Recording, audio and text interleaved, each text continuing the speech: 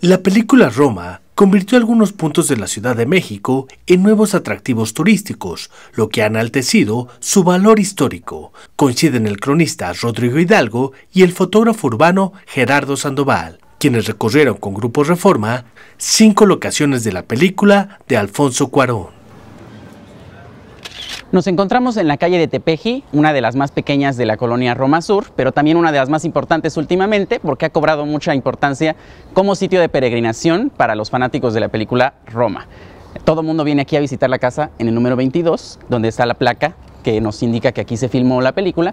Sin embargo, lo interesante y un detalle curioso es que Alfonso Cuarón no vivió en esta casa, sino en la que se encuentra enfrente, aquí en el número 21, que es la casa de la infancia de la familia. Ambas casas son destacadas del estilo de la colonia Roma Sur, sobre todo, en diferencia con el norte, por algunos detalles de estilo Art que son los que caracterizan a, la parte sur de la colonia Roma. La verdad es impresionante el trabajo que hicieron en edición, en adaptación de, cómo era en ese tiempo, porque por ejemplo la parte donde se ve hacia el horizonte y aparecen las torres del multifamiliar Juárez, al fondo, que ya se fue demolido después de los sismos del 85.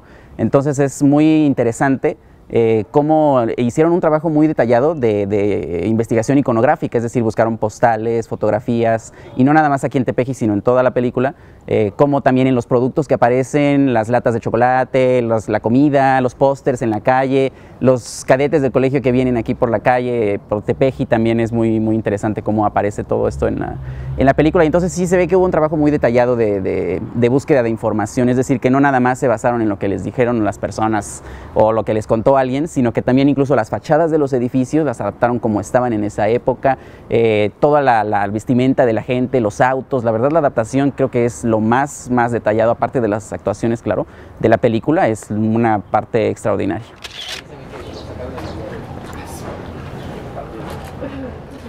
Y es interesante que siga existiendo un kinder más de 60 años, ¿no?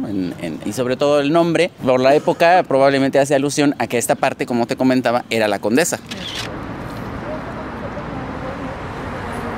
Aquí la adaptación me parece especialmente buena porque eh, captura el ambiente de la época, es decir, los tranvías, los autos, lo que era cruzar esta esquina en la década de los 70, el cruce de Insurgentes y Baja California, que es un cruce muy importante porque además del cine Las Américas, que era el punto de encuentro entre los habitantes de la Roma y de la Condesa, aquí sucedieron muchas cosas en la, en la época que también incluso están retratadas, por ejemplo, en El vampiro de la colonia Roma.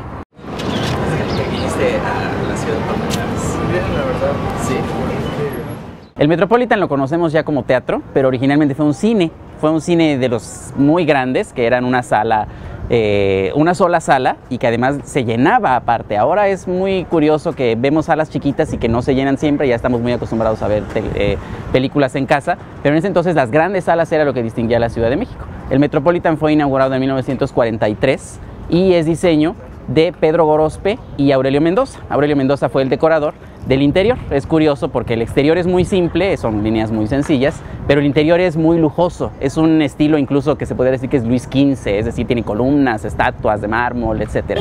Aquí, curiosamente, ya dentro de una eh, memorabilia más kitsch, aquí se filmó el video de Baño de Mujeres con Mijares, eh, ya en, la década de los 80, y es un espacio muy importante porque aquí tienen lugar muchos espectáculos muy importantes de la ciudad. Acompañar a Rodrigo fue algo, una experiencia que me sirvió bastante. Eh, Anteriormente había visto las locaciones de la película, pero esta experiencia fue diferente, pues pude aprender más acerca de cada locación, como ver el detrás o la historia del por qué fue utilizada quizás esta locación para filmar la película Roma.